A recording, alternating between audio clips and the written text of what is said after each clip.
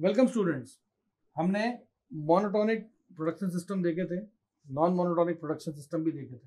लेकिन अब जो टॉपिक आ रहा है, वो आ रहा है मोनोटोनिक रीजनिंग और मोनोटोनिक रीजनिंग टॉपिक पढ़ाने से पहले मैं आपको इसके बारे में कुछ बताना चाहूँगा। और इसके बारे में जो सिंपल सी कहानी है, वो ये है, जिसको आपको याद रखनी है पेपर के टाइम पे, वो ये कि रीजनिंग का मतलब क्या होता है? रीजनिंग का मतलब होता है कि आपने रूल्स फॉर इन्फ्लुएंसिंग जो थे, वो लगाए। और इन्फ्लुएंसिंग के नियम जो थे या रूल्स जो थे अपने उसको लगाए तो उससे आप आंसर तक पहुँचे। अब मोनोटोनिक रीजनिंग क्या कहता है कि मान लीजिए आपके पास कोई नॉलेज बेस है, ठीक है? उसके अंदर रूल्स रखें फैक्ट्स रखें, और उसके अंदर ऑलरेडी कुछ चीज़ें जो है वो इनकलकेटेड है मतलब ऑलरेडी डली हुई है।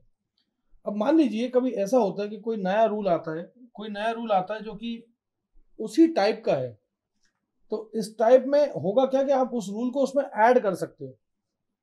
मतलब यहाँ पे कंसिस्टेंट रूल जो है, वो आपस में जो साथ में जो दो दो चार, पाँच रूल रखे हुए हैं, वो सारे कंसिस्टेंट है। एक अगला नया कोई रूल आता है, कोई नया फैक्ट आता है, अगर वो मान लीजिए वो भी कंसिस्टेंट है और उसी जैसा है, जैसा एग्जिस्टिंग था तो इस टाइप की रीजनिंग को हम बोलते हैं मोनोटॉनिक रीजनिंग इस प्रॉपर्टी को मोनोटॉनिसिटी बोलते हैं वैसे, और उससे ही नाम निकला है मोनोटॉनिक मोनो का मतलब मैंने पहले भी समझाया मोनो का मतलब होता है वन एक जैसा।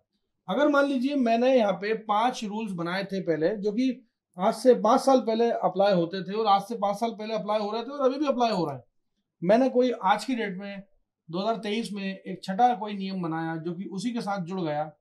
तो उस टाइप को कहते हैं, उस टाइप की रीजनिंग को कहते हैं मोनोटॉनिक रीजनिंग आप जानते हैं कि रूल्स आपस में कंसिस्टेंट होते हैं, उन रूल्स के बीच का रिलेशन जो होता है वो कंसिस्टेंट होता है और वो किसी दूसरे रूल को सिर्फ़ अपने साथ इंसर्ट कर सकते हैं और इंसर्ट करने के साथ कोई भी रिट्रैक्शन नहीं होता। और अगर रिट्रैक्शन की बात तो आती ही नहीं है यहाँ पर रिट्रैक्शन मतलब कोई भी रूल को हटाता नहीं है वो नया रूल वो नया रूल सिर्फ़ क्या करता है? पुराने रूल्स के साथ जाके दोस्ती कर लेता है और जुड़ जाता है।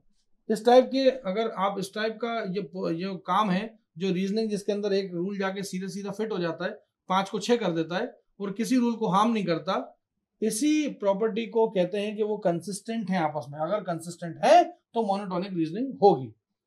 इस टाइप की रीजनिंग को बोलते हैं मोनोटोनिक रीजनिंग बिकॉज़ प्रॉपर्टी का नाम ही मोनोटोनिसिटी है। अब इसको थोड़ा सा मैं और आगे एलेबोरेट करता हूँ। ये मोनोटोनिक होता कैसे है? क्या है कि जितनी भी इंफॉर्मेशन होती है, जो कंसिस्टेंट होती है या कंप्लीट होती है, वो सारे के सारे एस्पेक्ट में कंप्लीट होती है। अब अब अगर दूसरे शब्दों में अगर उसको देखा जाए तो कोई फैक्ट है जो कि नेसेसरी है किसी एक प्रॉब्लम को सॉल्व करने के लिए। वो ऑलरेडी सिस्टम में प्रेजेंट है, या फिर आपने उसको डिराइव कर लिया उस फैक्ट को। फैक्ट को जब डिराइव करोगे, कोई conventional first order predicate logic लगा के या फ़र्स्ट ऑर्डर लॉजिक लगा के, आपने उसको डिराइव कर लिया। कोई दिक्कत नहीं है उसमें। उसमें कोई भी परेशानी नहीं है। अब आपने जो डिराइव करा जो नया रूल उसको भी आप जोड़ लीजिए, क्योंकि वो भी मोनोटॉनिक होगा बिकॉज़ वो कंसिस्टेंट है।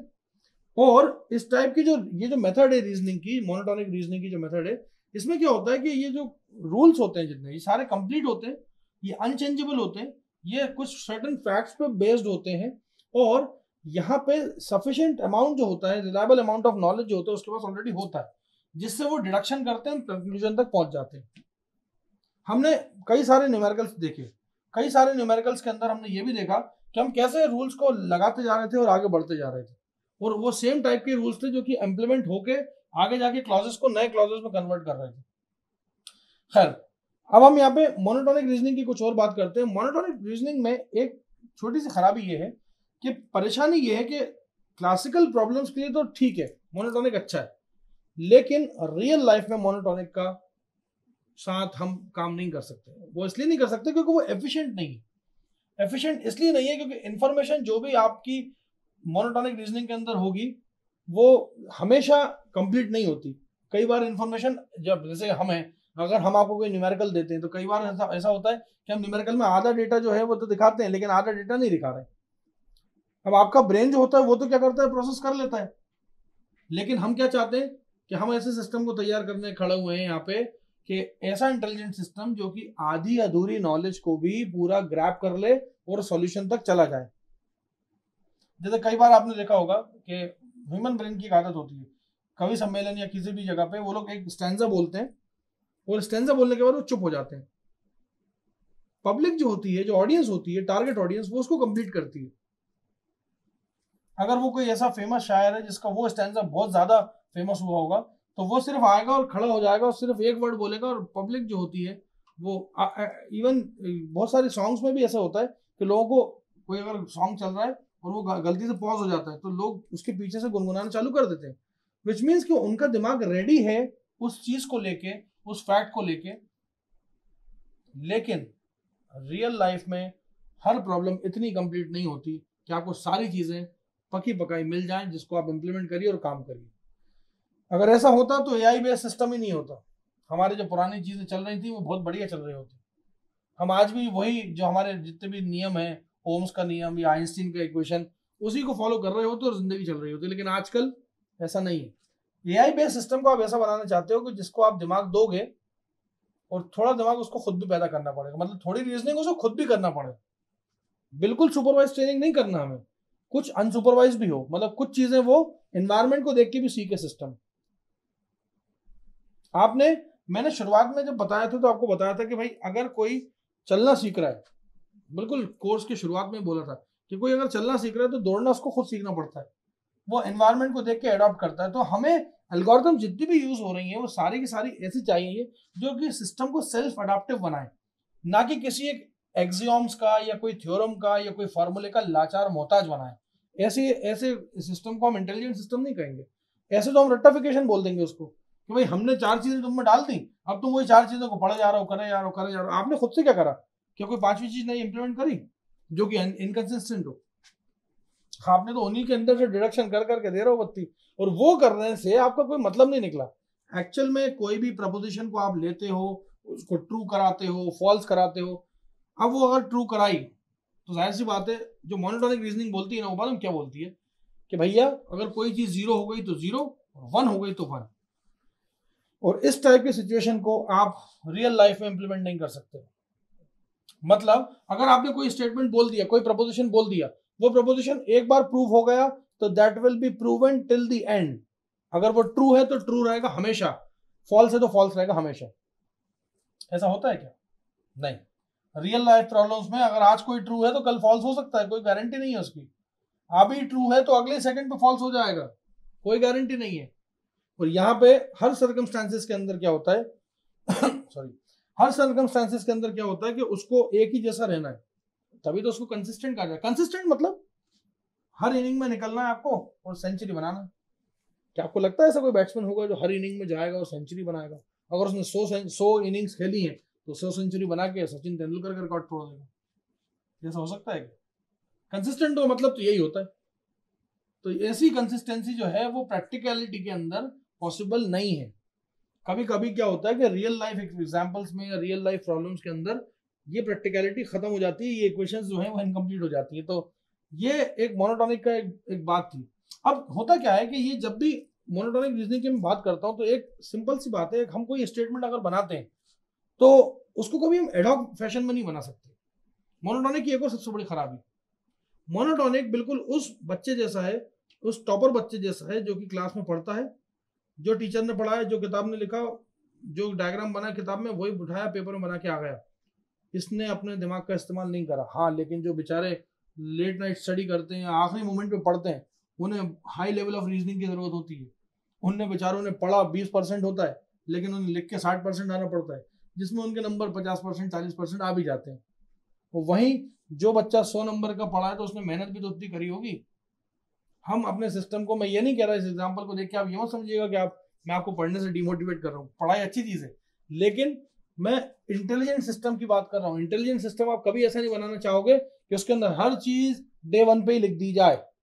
हर चीज़ अगर डे वन पे लिख दी जाती तो फिर एआई की ज़रूरत ही क्या थी?